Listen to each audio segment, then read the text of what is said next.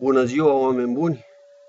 Pentru că este iarnă și nu putem să umblăm la albinuțe, astăzi aș dori să, să vorbesc despre o problemă care a devenit din ce în ce mai, mai acută în România, despre o boală periculoasă care a apărut, care a apărut și la noi în țară. Uh, am văzut zilele trecute pe internet un filmuleț. Era vorba, era vorba despre uh, o analiză la miere. Probabil era miere extrasă de foarte puțin timp. Nu știu, nu s-a specificat în, în filmuleț, dar cel mai probabil era extrasă de, de foarte puțin timp, de câteva minute, să zic așa. Uh, și apăreau în miere acarienii de la Acarapis udi, care erau vii.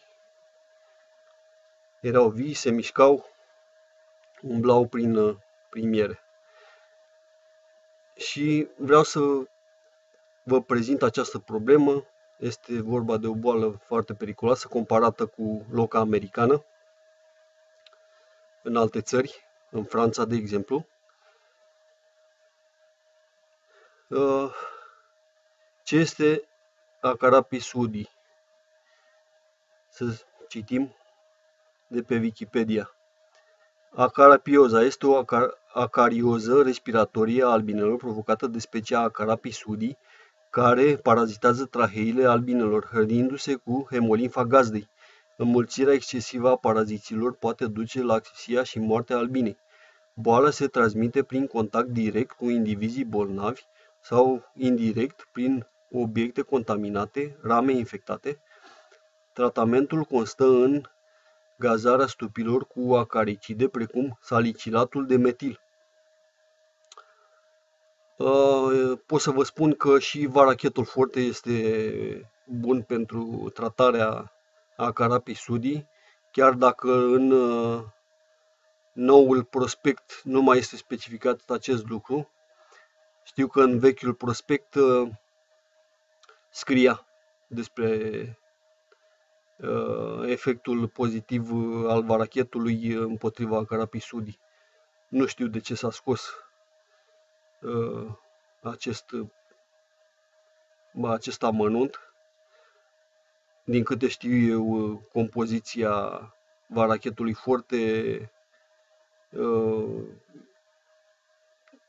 din, din compoziția varachetului foarte nu a fost scos nimic față de vechiul varachet, ba din contră a fost adăugat un alt element, un alt, alt acaricid. Deci ar trebui să fie eficient în continuare varachetul pentru acarapisudii. Să mai citim. Haideți să vedem și cum arată deci așa arată acarianul. Aici este pe trahee. Este... Ia să vedem dacă putem să mărim. Da. Este văzut la microscop. Nu știu dacă pot să dau înapoi acum. Da văzut la microscop pe trahee. Așa arată el. Să vedem ce mai spune și aici, pe această pagină. Acarapii sudii, acarianul traheal al albinei. Este un acarian parazit intern al albinelor. Acarapii sudii trăiește și se reproduce în traheile albinelor. Femela acarianul depune 50 ouă pe pereții traheilor. Larva de asemenea se dezvoltă în trahei timp de 2-3 săptămâni. Ei părăsesc traheile doar pentru a găsi o nouă gazdă. Acarianul străpunge pereții cu ajutorul natosomei, pe aparatul bucal, traheilor și se hrănește cu hemolimfă, cu hemolimfa, hemolimfa albinei. O albină poate fi parazitată de peste 100 de indivizi. Acarianul este foarte mic, aproximativ 175 microni și pot fi văzut și poate fi văzut, probabil a vrut să scrie, numai la un microscop, de aceea identificarea acestuia e foarte dificilă. Da.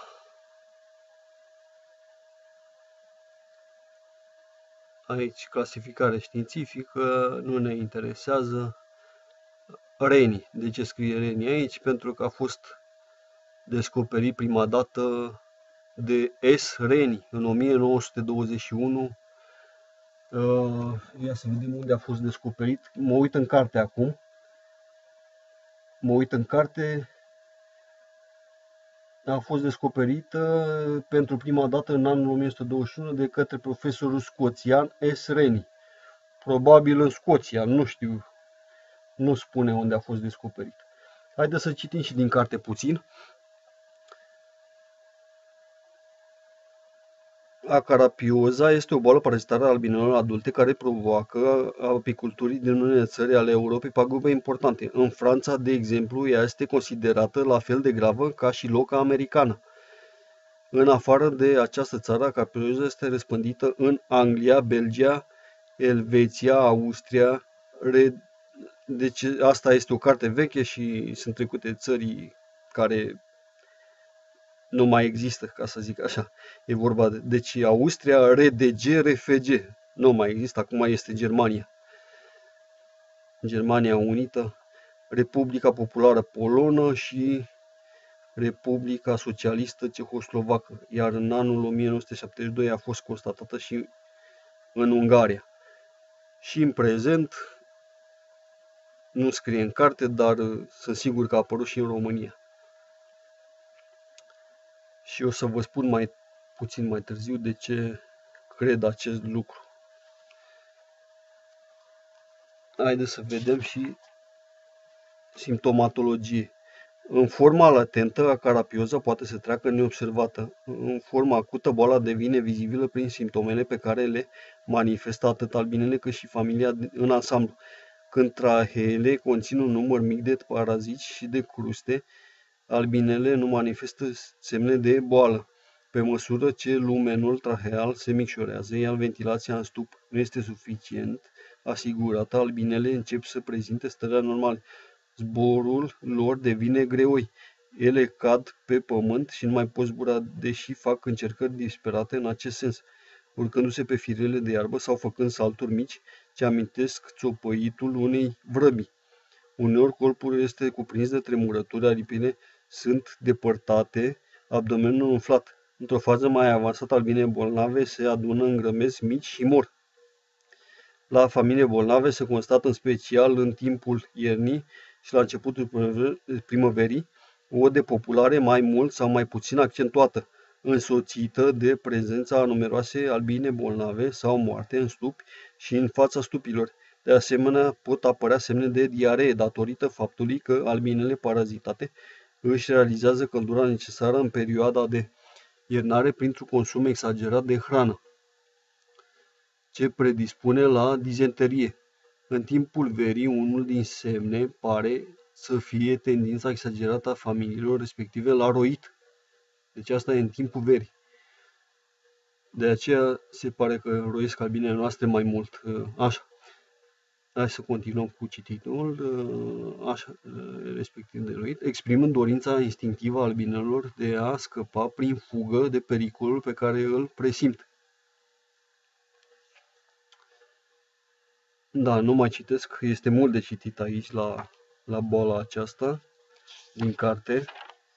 Am citit doar uh, foarte puțin.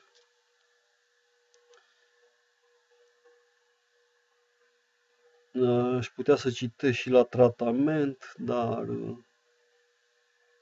văd că și aici este foarte mult de citit la tratament. Poate o să fac uh, un filmuleț special cu tratamentele care se folosesc pentru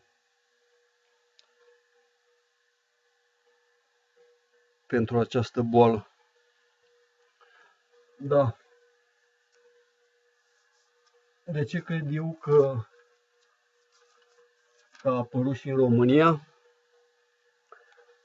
Uh, pentru că am observat uh, semne destul de clare, cred eu, după părerea mea, așa, eu așa cred că sunt semne destul de clare.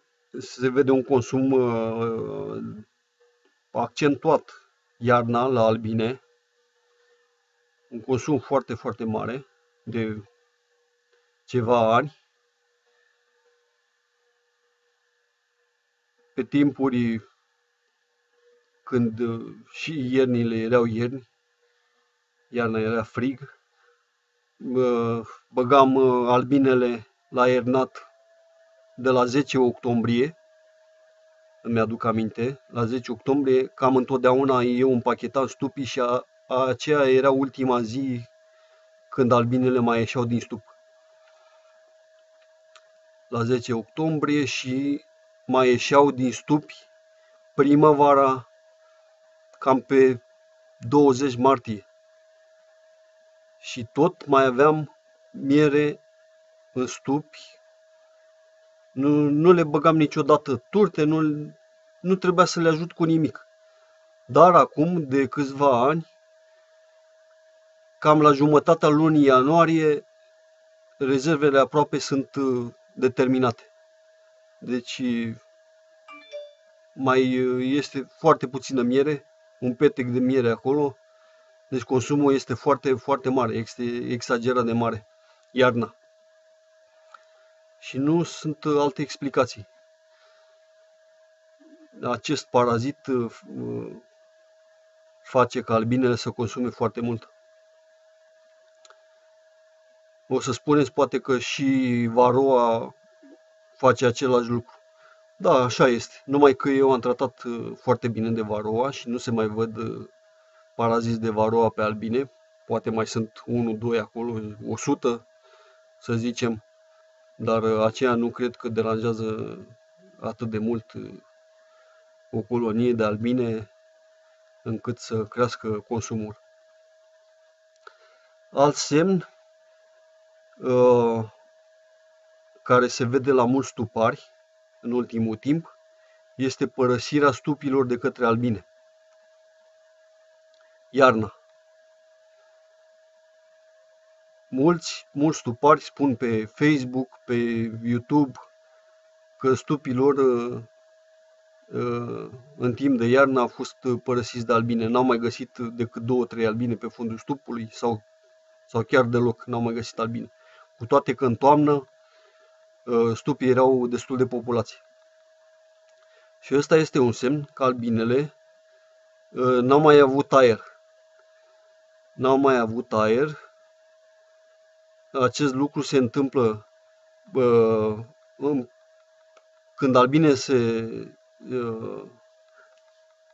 se desprinde pe rame, se poate întâlni acest fenomen cu desprinderea albinelor de pe rame și încercarea lor de a fugi se mai întâmplă și când uh, ne ninge foarte mult în unii ani, când ninge foarte mult și se acoperă stupii în, în totalitate și albinele nu mai au aer. O să vedeți că același fenomen se, se întâmplă, albinele încearcă să fugă din stup. Încearcă să iasă la aer, să iasă undeva unde este, unde este aer suficient și o să le găsiți moarte pe fundul stupului. Dacă, dacă afară este foarte frig.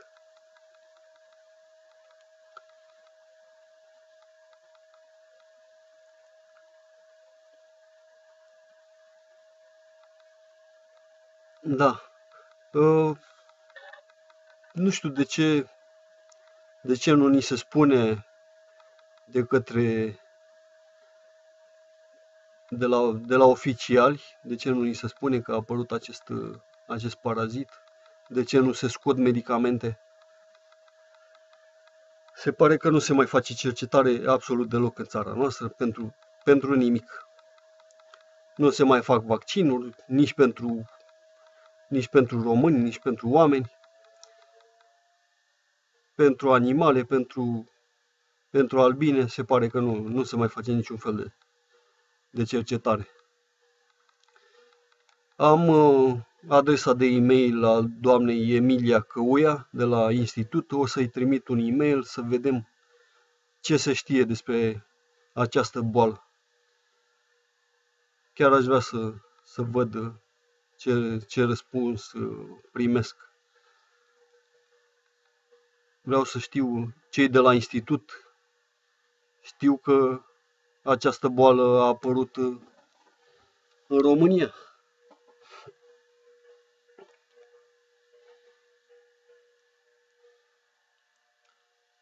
Da, v-am spus ce tratamente ce tratamente sunt bune. Deci salicilatul de metil scrie aici. Nu știu dacă n-am folosit niciodată.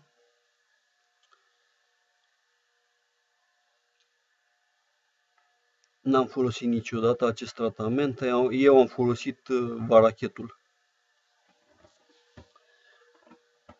Acum 2 ani, de fapt până până anul trecut o perioadă destul de lungă, o perioadă destul de lungă n-am mai folosit varachetul și, și s-a văzut efectul, am avut mortalitate destul de mare la stupi în anii anteriori în care n-am folosit varachetul. Anul acesta, anul, anul trecut, de fapt iarna, iarna aceasta, albinele a avut parte de de tratament cu varachet. Deci au, au beneficiat de, de tratamentul cu varachet și se pare că uh, au stat într-o stare mult mai bună. Sunt mult mai uh, mai uh, uh, sănătoase. Nu mi-au mai murit uh, stupi nu s-au mai depopulat ca în anii precedenți. Deci a contat foarte mult.